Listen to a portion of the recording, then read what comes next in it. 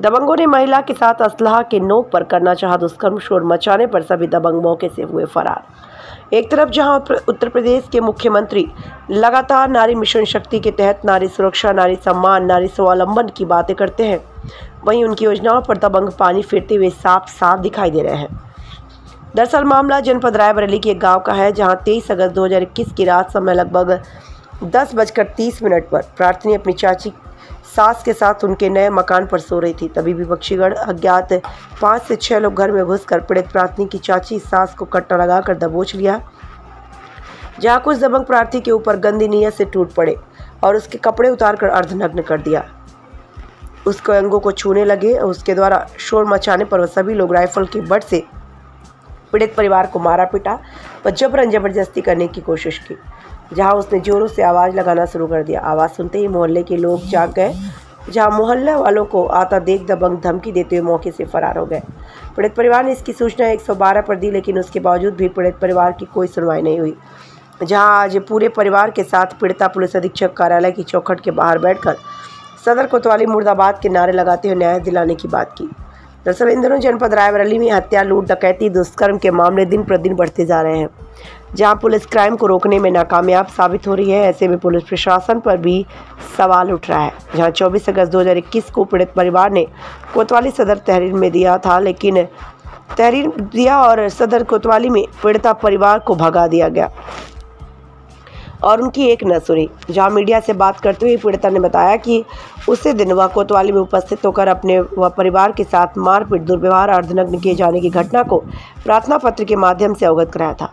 और कार्रवाई करने की मांग की। लेकिन आज तक उन लोगों की कार्रवाई नहीं हुई और उन लोगों के खिलाफ कोई भी एक्शन नहीं लिया गया। जहाँ समस्त पीड़ित परिवार पुलिस अधीक्षक कार्यालय की चौखट के बाहर बैठकर सदर कोतवाली मुर्दाबाद के नारे लगा रहा है। देखना है कि पीड़ित परिवार को न्याय मिलता है या नहीं, या फिर इसी तरह महिलाओं के साथ दुष्कर्म के मामले बढ़ते रहेंगे और योगी सरकार में उनकी कोई सुनवाई नहीं होगी। Anshu Srivastava, TV India eighteen जिला संवाददाता रायबरेली। क्या दिक्कत आ गई है? कहाँ पे आई हुई हैं? कप्तान साहब के क्या दिक्कत क्या आ गई? दिक्कत हमारे साथ सर हुई थी कि हम पाँच छः दिन पहले वो चौबीस तारीख को। हमने हमारे साथ हम अपने घर में सो रहे थे अपने सास के साथ। तो हमारे साथ वो नीरज यादव रा, राम से वही का का कहते राजा राम फौजी हमारे साथ घटना वो जबरैन कूद के हमारी बेजती करने की कोशिश की। इसके बाद हम हमारी सास चिल्लाई तो उसके कट्टा लगा दिया और हमारे पास मतलब करे थे, हमारे तन के कपड़ा फाड़ने लगे सर। और उसके बाद हम शोर मचाए तो कहते थे आवाज़ चिल्लाओगे तो मार देंगे। और हमारे वो कट्टा के उससे मतलब वो रिवालगन के वैसे वैसे का बोलते क्या?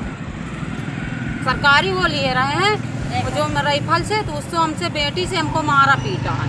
हम सवेरे कोतवाली गए थे। वहाँ हमको गाली दे करके भगा दिया गया। किसने भगा दिया? वो वहाँ के कोतवाल लोग ने। वहाँ से हमको भगा दिया कि जाइए हम फिर वहाँ से रोते पीटे चले आए। हम आए यहाँ कप्तान साहब के यहाँ ऑफ़िस। यहाँ से हमने कागज़ दिया। यहाँ से वो कर रहे थे कार्रवाई की कोशिश। हुआ कर दिया कि कार्रवाई हो इसकी। इसके बावजूद हमारी कोई सुनवाई नहीं हुई। एक हफ़्ता हो गए। जन्माष्टमी के पहले चौबीस तारीख। हमारे साथ हुआ। हमारी कोई पुलिस प्रशासन ने रुपया पेपी की गई है। हमारी कोई सुनवाई नहीं होती, सर। उल्टा आरोप हमारे ऊपर दूसरा सो नहीं मानते जब रैयन हमारे साथ हुआ कर रहे हैं। गली